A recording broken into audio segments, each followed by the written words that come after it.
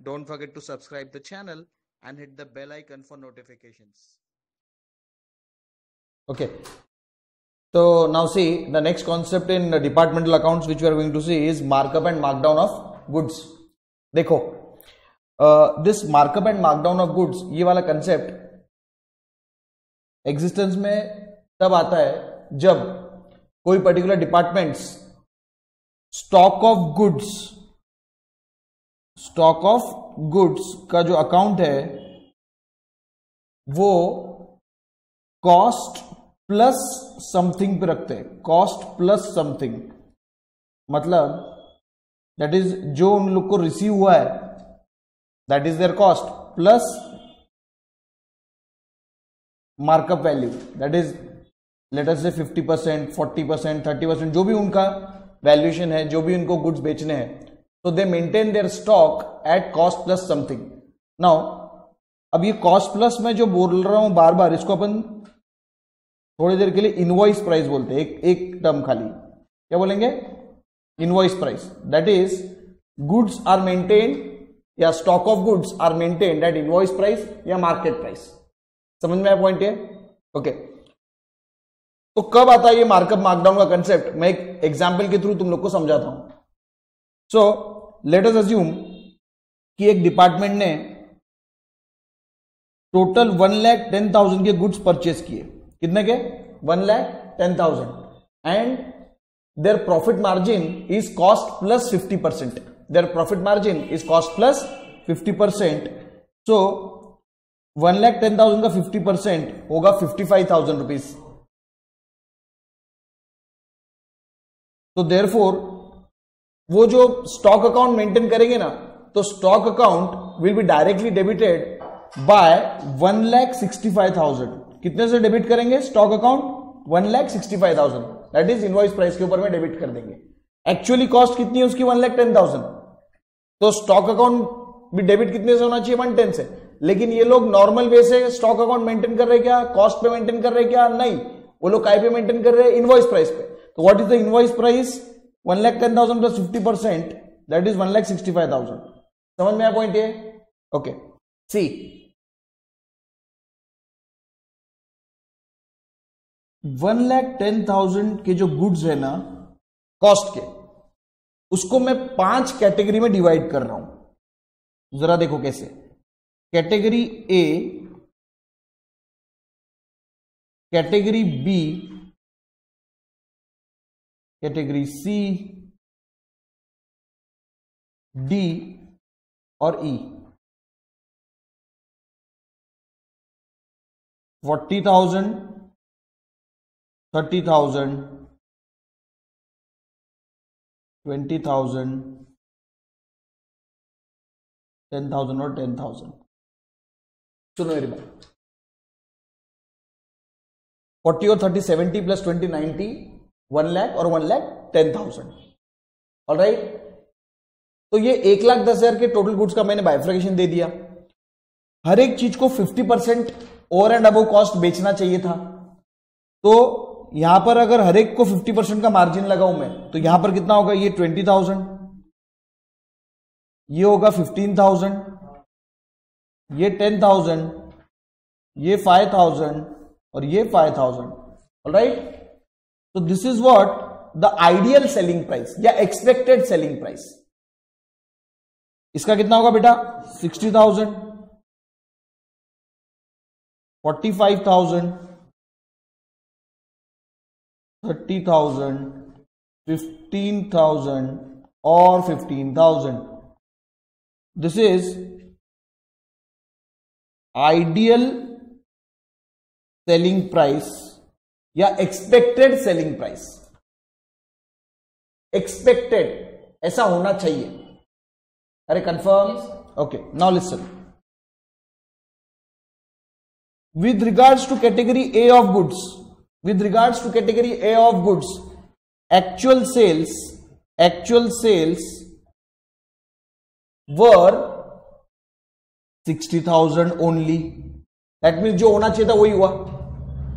पक्का? ध्यान दो, अब मार्कअप मार्कडाउन आने वाला है अभी। सुनो अभी। With regards to category B of goods with regards to category B of goods the actual sales were fifty thousand the actual sales were fifty thousand ठीक है? With regards to category C of goods the actual sales was twenty eight thousand was how much twenty eight thousand With regards to category D of goods, I would like to inform you people that these goods have been lost or stolen or damaged by fire. जो तुमको situation लेना है वो ले लो। यानी ये दस हज़ार रुपए के बेसिकली वैल्यू के गुड्स थे। इसमें प्रॉफिट ऐड करे हुआ था पाँच हज़ार का। वो गुड्स जिसकी इनवॉइस प्राइस या ideal selling price fifteen thousand रहने चाहिए वो पूरे के पूरे लॉस्ट हो गए। चोरी हो गए या वॉट एवर द केस में भी पक्का?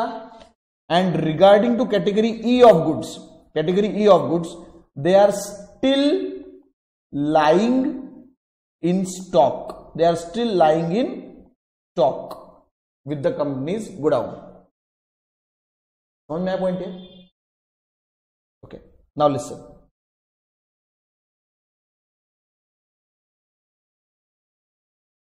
जो गुड सिक्सटी थाउज़ेंड में सेल्स होना चाहिए वो कितने में सेल हुए? सिक्सटी में। तो, सुनो मेरी बात। तो सिक्सटी की चीज़ कितने में बुक हुई?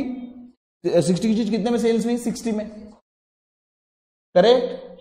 नाउ इस पर कोई कमेंट करने की ज़रूरत नहीं है। जैसा होना चाहिए था वैसे ही हुआ। कैटेगरी बी के गुड्स जिनकी ओरिजिनल कॉस्ट थर्टी थी थाउज़ेंड थी वो आइडियली सेल्स कितने में होने चाहिए थे? 45 में होने चाहिए थे। कितने में हुए सेल्स वो? 50,000 में। तो category B of goods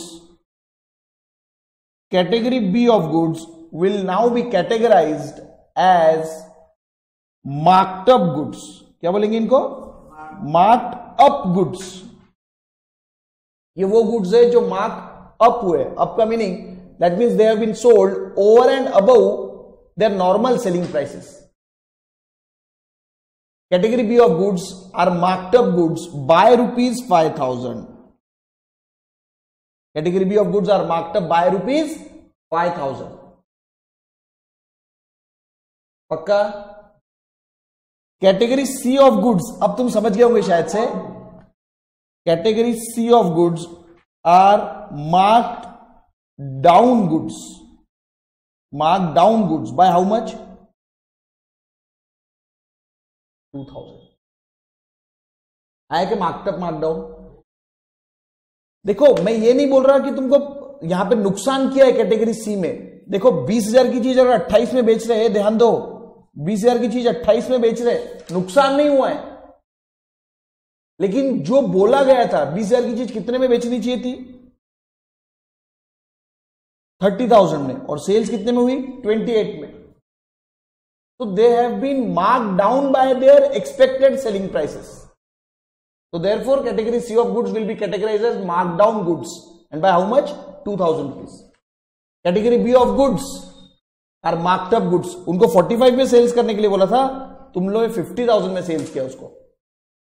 अरे पक्का? एक स्टॉक अकाउंट बनाऊँगा। दूसरा मार्कअप अकाउंट बनाऊँगा। As soon as you as soon as you debit your stock account as soon as you debit your stock account like this to purchases by one lakh sixty five thousand that means you are debiting your stock account at inflated prices that inflated price includes a profit markup या profit element of how much 55,000 rupees. It is your duty to credit your markup account. It is your duty to credit your markup account by the profit element. By the profit element. Now what is the profit element? 55,000. अरे clear हुआ point ये तो मैं क्या लिख रहा हूँ यहाँ पे बाय स्टॉक अकाउंट 55,000 पक्का बेटा एक आइडियल सिचुएशन बता रहा हूँ वापस देखो कि अगर ये सच में तुम्हारे सेल्स हो जाते हैं कि 165 की चीज़ पूरे की पूरे 165 में सेल्स हो जाते थे। हा? तो फिर ये जो तुमने प्रॉफिट पहले एंटिसिपेट करके रखा है पहली प्रॉफिट बुक करके रखा हुआ है यहाँ पर ये देखो। उसको तुमको राइट रहता था कि तुम इसको कहाँ लेकर जाओ? प्रॉफिट एंड लॉस अकाउंट पक्का? लेकिन ऐसा हुआ क्या? बिल्कुल भी नहीं हुआ। अभी तो मैंने पूरी कहानी बताई कि एक्चुअल में हुआ क्या करके। ये सब कहानी को हमको पुटअप करते आना चाहिए इन पर्टिकुलर अकाउंट्स में। अरे कंफर्म तो सुनो।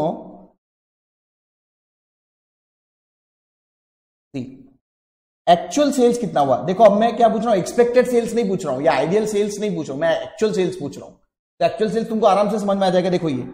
Sixty thousand plus fifty thousand one lakh ten thousand plus twenty eight thousand is equal to how much one lakh thirty eight thousand this is the actual sales actual sales लिख लो one lakh thirty eight thousand अरे confirm okay now with regards to category B of goods, now please concentrate, huh? markup markdown का treatment बता रहा हूँ With regards to category B of goods, having the original cost of rupees 30,000 and ideal selling price of rupees 45,000 have been sold over and above their ideal selling prices by rupees 5,000. Therefore, category B of goods have been marked up by rupees 5,000. That means you have earned super profits. Super profit समझ में आया? अरे भाई आपको बोला गया था तीस हज़ार के ऊपर में पंद्रह हज़ार रुपए कमाना। आपने कितने कमाए? तीस हज़ार के ऊपर में बीस हज़ार रुपए कमाए तभी तो वो सेल्स हुआ पचास हज़ार में। तो तीस हज़ार पे जो बीस हज़ार कमाए उसमें के पंद्रह नॉर्मल है लेकिन जो एक्स्ट्रा पाँच कमाए सुनो मैं बहुत इंपॉर्टेंट चीज़ बोल रहा हूँ जो एक्स्ट्रा पाँच कमाए उसकी बुकिंग तुमने कहीं पर करके रखी थी क्या? 165 में 55 का प्रॉफिट इंक्लूडेड है। 150 165 में 55 का प्रॉफिट इंक्लूडेड है। और उस 55 में 55 का ब्रेकअप यहाँ पर है ये। ये ब्रेकअप है 55 का। 30 20 प्लस 15 प्लस 10 प्लस 5 प्लस 5 वो 55 का ब्रेकअप ये है। तो आपने बुकिंग करके रखी हुई है कितने की? 55 की। और आप ओवर एंड अबव सेल्स कर रहे हैं। 45 का बोला था 50 पे सेल कर रहे तो जो एक्स्ट्रा बुकिंग करके रखी है, क्या करके रखी है? एक्स्ट्रा बुकिंग तो उसके लिए आपको मार्कअप अकाउंट को क्रेडिट करना पड़ेगा। मार्केट अकाउंट को क्या करना पड़ेगा? क्रेडिट करना पड़ेगा। सो देयर फोर मैं यहाँ पर क्या लिखता हूँ, जरा ध्यान दो। Again by stock account by stock account five thousand ये गुड्स आपने जो मार्कअप किए, उस चीज़ का क्रेडिट देना पड़ेगा। क्योंकि आपने सिर्फ़ बुकिंग 55 की करके रखी है, और कैटेगरी बी के गुड्स आपने over and above markup value over and above invoice price बेचा है फाइव थाउज़ेंड से। समझा ये पॉइंट और यहाँ पर बाय स्टॉक लिखता हूँ मैं तो इधर भी लिखूँगा to markup account five thousand बोलो समझा कि नहीं समझा? कैटेगरी बी में आपने अबनॉर्मल कराया है। क्या अबनॉर्मल किया है? सर, हमने तो जो बोला गया तो उससे ज़्यादा में बेचा। यस अगर आपको कॉस्ट प्लस फिफ्टी परसेंट बोला गया था बेचने के लिए अगर आप फिफ्टी वन परसेंट पे भी बेचते हो तो भी अबनॉर्मल है और फोर्टी नाइन परसेंट पे बेचते हो तो भी अबनॉर्मल है। दोनों केसेस में अबनॉर्मल है। कॉस्ट प्लस फिफ्टी अगर आपका प्री डिसाइडेड है नोशन तो आपको कॉस्ट प्लस फिफ्टी पे ही बेचना पड़ेगा। अगर 51 पे बेचते हो तो आप इसका मतलब आपने गुड्स मार्कअप किए हैं। अगर 49 पे बेचते हो इसका मतलब आपने गुड्स मार्क डाउन किए तो अगर मार्कअप करते हो तो उसका इफ़ेक्ट आपको यहाँ मार्कअप अकाउंट में लेना पड़ेगा जो कि मैंने लिया है। क्रेडिट किया है मार्कअप अकाउंट को। पक्का? कैटेगरी सी ऑफ़ गुड्स बीस हज़ार के गुड्स आपको तीस हज़ार में बेचने बोले थे। कितने बोले थे? तीस हज़ार में। कितने में बिके हुए एक्चुअली ट्वेंटी थाउज़ेंड मतलब आपने ये category C of goods mark down किए। मार्क डाउन किए। कितने से मार्क डाउन किए? 2000 से। तो therefore you have to debit your markup account you have to debit your markup account so एक नया अकाउंट ओपन करते मार्कडाउन अकाउंट कोई ज़रूरत नहीं है। अगर आप गुड्स मार्कअप करते हैं एक्चुअल में तो मार्कअप के क्रेडिट करना है। और गुड्स मार्क डाउन करते हैं therefore in that particular case you have to debit your markup account you have to debit your markup account to stock account कितने से? Two thousand one second just let's complete me I क्या हुआ? यहाँ पर आपने extra five thousand rupees कमाए कि नहीं कमाए बताओ। ये वाले केस में एक्स्ट्रा फाइव थाउज़ेंड रुपीज़ कमाए। तो एक्स्ट्रा फाइव थाउज़ेंड रुपीज़ कमाए तो मेरे को यहाँ पर क्रेडिट में ले जाना पड़ेगा। यहाँ पर आपने दो हज़ार रुपए कम कमाए, क्योंकि मार्कडाउन करके बेचा आपने। तो दो हज़ार रुपए कम करके बेचा तो फिफ्टी फाइव में से वो टू थाउज़ेंड रुपीज़ कम होना ज़रूरी था ना? क्योंकि आपने जैसे यहाँ वन सिक्सटी फाइव लिखा, जैसे ही 165 लिखा, वैसे ही आपने 55 का प्रॉफिट बुक कर लिया। तो उसने सही में आपने बेचना चाहिए था ना फिर 165 की चीज़ 165 में? आपने कुछ कैटेगरी ऑफ़ गुड्स को ज़्यादा में बेच दिया तो ठीक है फिर उस, उसको और बढ़ा दो। कुछ कैटेगरी ऑफ़ गुड्स को कम में बेचा तो कम में बेचा तो इस प्रॉफिट को भी तो कम करो ना फिर यहाँ पे। समझा क्या मैं क्या बोल रहा हूँ? तो यहाँ पर जब मैं लिख रहा हूँ तो दे ऑब्वियसली तुम समझ गए होंगे मेरे को यहाँ पर क्या करना पड़ेगा। बाय मार्कअप अकाउंट्स 2000 फॉर्मेट समझ में आ रहा है मैं क्या कर रहा हूँ? Here the goods are mark down basically here the goods are markdown लेकिन मार्कडाउन अकाउंट नहीं बनाऊँगा मैं मार्कअप में डेबिट कर दूँगा। I hope you are with me ठीक है? And these are actually markup up these are actually markup up therefore I am crediting the markup account and simultaneously increasing the stock value here second effect दे रहा हूँ मैं यहाँ पे।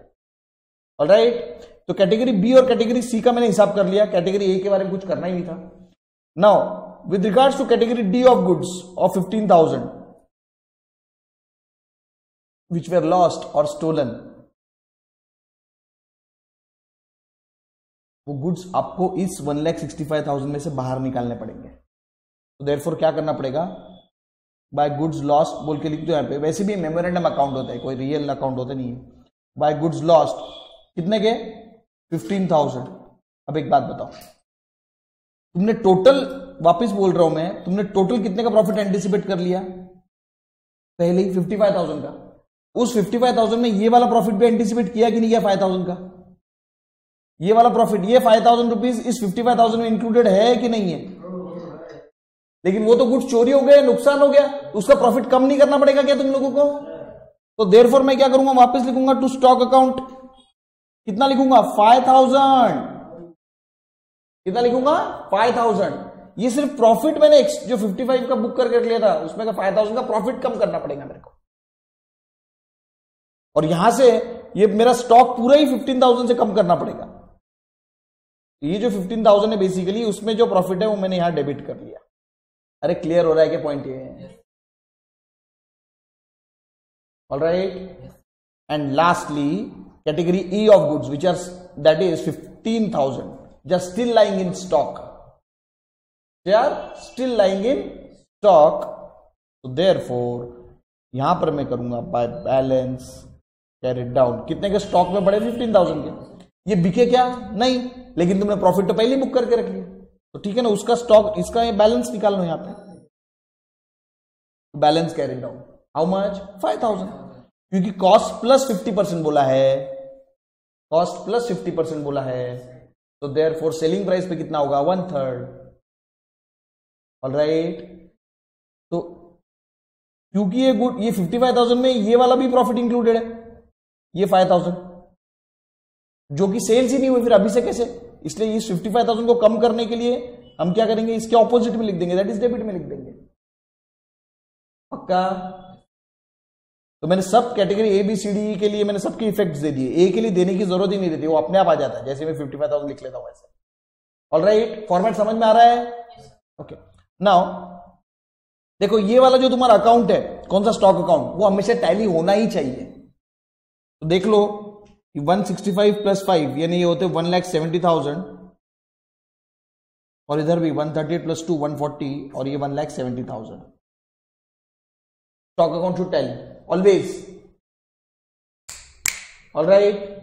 And so therefore 60000 minus 2 minus 5 7 minus 5 12 यानी ultimately यहाँ पर रहेगा profit and loss account को कितना जाएगा तुम्हारे? फोर्टी एट थाउज़ेंड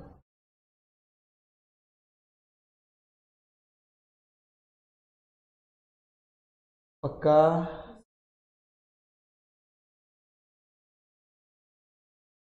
तो ये हो गया तुम्हारा मार्कअप मार्कडाउन का कंसेप्ट